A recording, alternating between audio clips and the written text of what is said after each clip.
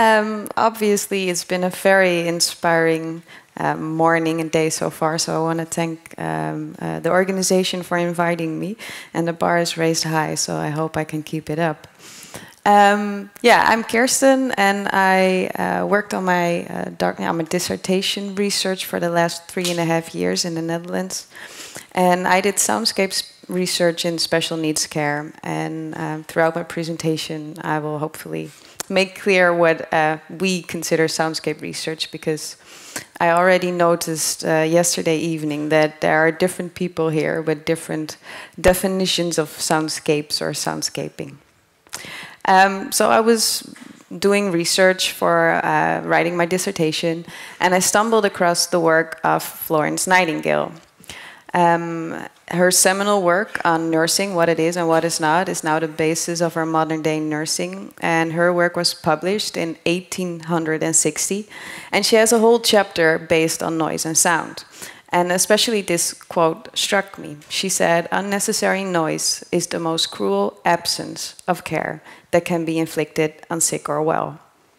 And here I found myself thinking, oh, that's just great. I'm reinventing the wheel 150 years later.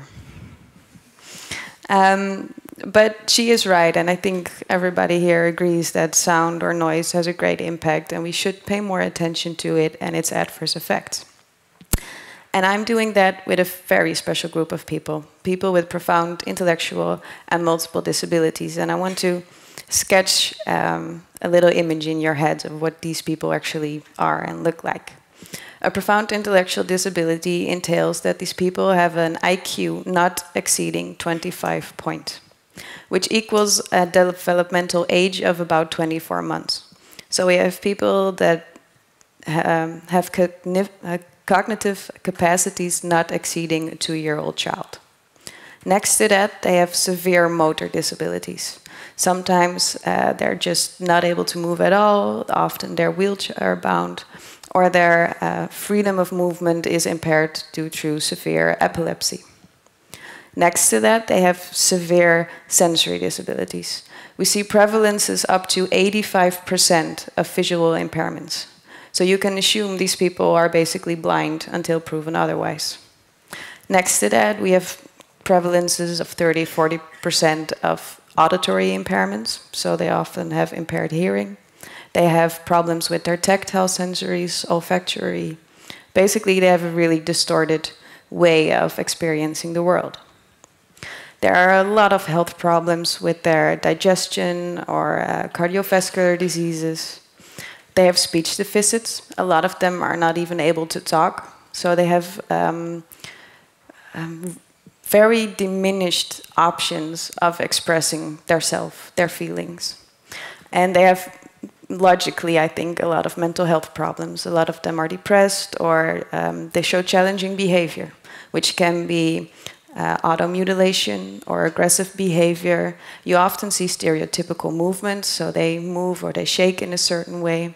But it can also be withdrawn with uh, withdrawn behavior, such as depressions, where they just shut down all all contact they have with the world. And um, we put these people together in group homes and in daycare activities. And I want to let you listen to a couple of sounds I recorded there. So these are two people with PIMD, as we abbreviate it. And um, I hope the sound will work.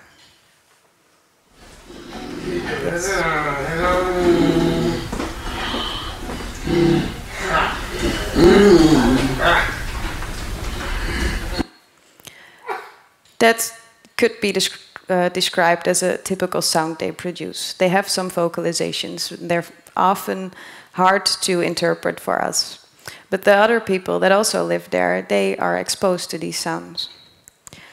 This is also a sound we hear, if it works. No? Ah, yes. Can anybody guess what this is? Like a? A dryer. It's a paper shredder. Because some of these people actually like putting paper through a paper shredder the entire day, and it is seen as an activity. Um, but again, other people who live there are also exposed to these sounds. And lastly, they also produce positive sounds. Luckily.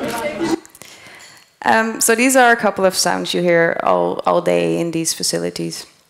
And um, I researched what the effect was of their entire auditory living environments, uh, what the role is of sound in their lives, etc. And there hasn't been a lot of research done, actually none, with this specific group of people. We have some case studies on people with specific syndromes that are uh, experience hyperacusive, that are really sensitive to sound. But there wasn't no, there was not much to, to base myself on, so I went into the literature on the effects of noise on well-being in the normal population. And um, I found the effects were astonishing. I found this report by the World Health Organization, which shows that over a million healthy life years are lost every year. And then we're talking only in Western Europe and only because of traffic noise. So if you take into account uh, stress caused by um, uh, poor working environments or in the healthcare settings like we uh, were shown this, uh, this morning, we can imagine that this number will rise um, tremendously. And um, I was especially struck by the higher risks at cardiovascular diseases and um, stress and sleeping problems. And there are a lot of effects that noise induce. And this is often explained by the noise stress hypothesis. And the noise stress hypothesis states that noise acts as an unspecific stressor, which activates our nervous system, and therefore it affects our metabolism. Stress hormones like cortisol and norepinephrine, they rise, and therefore we have all these negative effects, such as higher rates of heart risks. But then I thought, yeah, okay, but why is this happening? Why is this noise stress hypothesis working in the way it does? So there is a missing link, and um, to get an answer on that, I think we need to look beyond acoustics. And I think it's a little bit blasphemy to say it here, but I think there are some people that agree when I say that I think that acoustics are a little bit overrated. Even Florence Nightingale agreed, and she was she said that it's uh, noise that creates an expectation in your mind uh, it, which um, is what hurts a patient. It's rarely the loudness or the effect upon the organ which appears to affect the sick. And here's where my kind of soundscape research comes into play. Soundscapes uh, were defined by Schafer in 1977 as environments of sound with emphasis on the way it is perceived by an individual. So it depends on the relationship between an individual and an environment. And I think it was Nigel, I don't know where you are, but you said it also this morning. It's all about context and if we are in control or not. So I'm more um, interested in how people actually perceive soundscapes, auditory environments, because people are more than decibel meters, and I think we should focus more on that. In soundscape research, there has been reached a consensus there's been a lot of research done in which they let people hear a lot of sounds and asked, What do you think of this sound? How would you describe it? And we found a consensus that soundscapes are um, appraised based on two main dimensions pleasantness, horizontally shown, and eventfulness on the vertical axis. And this closely resembles um, what in psychology is known as core affect. And core affect could be described as the, the heart of all affective experiences. It is what underlies emotions and moods. And core affect exists of two dimensions, pleasantness and arousal. So there was a striking similarity between how people appraise the world around them and how it, they appraise or describe um, the feelings they have on the inside. So the feelings or behaviors um, that are elicited by those feelings are displayed on the inside, core affect on the inside, and appraisal of soundscapes on the outside. So we actually propose a classification or a taxonomy of soundscapes. Lively, calm, boring, or chaotic. A lively environment is eventful and pleasant. A calm environment is pleasant but uneventful. And on the negative side, we have chaotic and boring. And it is impossible to relax uh, in a chaotic environment, and you need a lively environment with lots of affordances and interesting options that will grab your fascination to learn and to explore and to play. Um, again, I was left with this question. Yeah, okay, so people um, appraise their environments based on pleasantness and eventfulness, but why is this happening? And we think that has to do with audible safety. Again, uh, like Nigel said this morning, our brain is tuned to um, savans and not office environments. Our current day auditory environments have changed tremendously over the last decades. There are more traffic sounds, more mechanical sounds. And we think that our brainstem, where sound is processed for a large part, is just not tuned to that yet. And um, if you go back to the evolution of audition, the capacity to hear and listen, you see that there's a really strong warning function. We still don't have eyes in the back of our head, but we can hear all around us. And sounds wake us up when we sleep, and we respond quicker to auditory stimuli than to visual stimuli. So we think there's a really important role uh, for sound to warn us for possible danger. And um, like I said, uh, sound is processed for a large part already in the brainstem. It goes unconsciously. And this brainstem decides whether you should pay attention to other alarming sounds in your environment. So we think sound is annoying um, as soon as it grabs your attention. As soon as you are no longer in control of your own thoughts, that's when this noise stress hypothesis kicks in. And this also explains why we see more visual impairments than auditory impairments in people with PIMD, because their brainstem function, thus also their auditory processing, is more intact than the higher cognitive functions. Um, and this is a perfect example of an environment we consider audible safe. It is um, reassuring and not alarming in any way. So what does that mean for people who are not able to see, who are not able to speak, who are not able to express their emotions in a normal way, who are not able to hear, and on top of that have so low or so um, few cognitive capacities to actually understand and make sense of the world around them.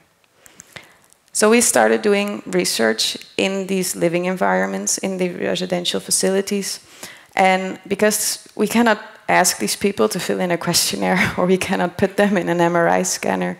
Uh, we depend on observations made by their direct support professionals. And we uh, followed uh, 30 participants an entire day, and we asked um, their support staff to make observations of the quality of the auditory environment and of the core affect of these people.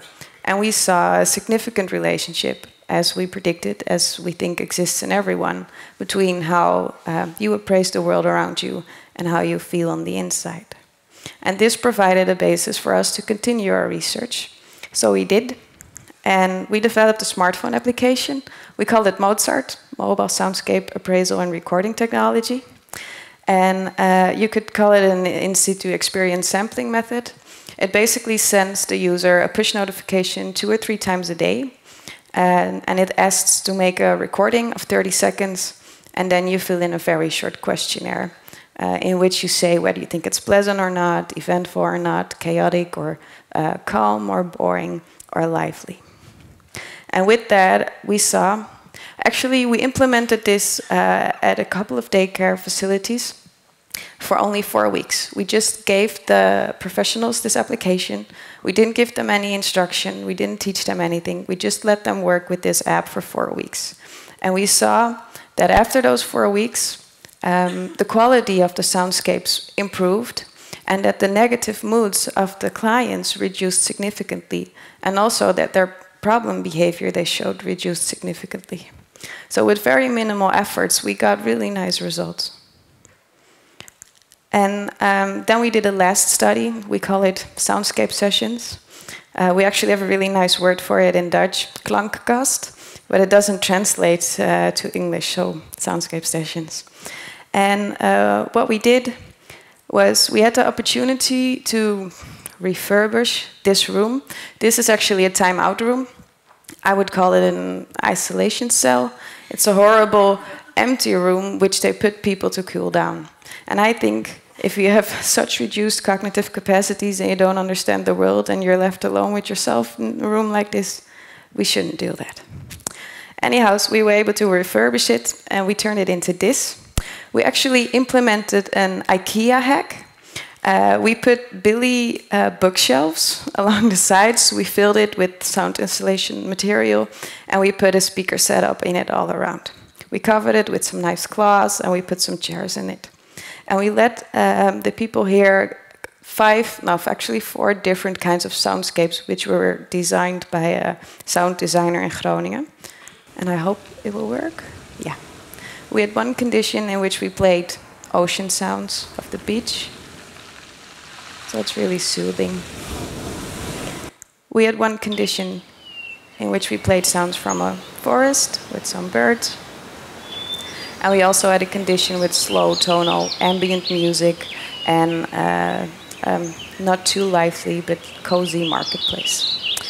And we saw that in all condition, um, the core affect of these people, it, it um, how, how should I say it? They became relaxed in any condition. We haven't found um, much difference between the conditions yet, but interestingly, we also had a control condition in which we didn't play any sound. And even that showed to be a big improvement over their normal auditory environments, which are really loud normally. So the main results is there currently is there's no attention for soundscape hygiene. People are banging doors. They put on the radio loudly the entire day because they think it's nice for the clients. And uh, we should do something about that. So raising awareness would be a very important first step, especially because we showed that the quality of the soundscapes is related to their moods and challenging behavior. Um, do I have, I have one minute, yes. For future research, I would love to include physiological measurements to make these observations more objective. So I'm really interested in Googling the uh, headset, which measure, measures uh, brain waves. I will do that later. And also, we think this is actually applicable to many long-term healthcare settings, such as people with uh, autism or hospitals or elderly with dementia. And we're also going to put all the recordings we made and the accompanied appraisals in a machine learning network so we can actually simulate and hopefully in the future predict how people would feel in certain soundscapes. And we're also doing it for municipalities so they can use it uh, in their event planning so people become less annoyed of all the concerts and food festivals that are going on right now. Yeah, this is my concluding slide. Like Florence Nightingale said, the fidget of silk and crinoline, the rattling of keys, the creaking of stays and shoes will do a, poor, um, a patient more harm than all the medicine in the world will do him good. Thank you very much.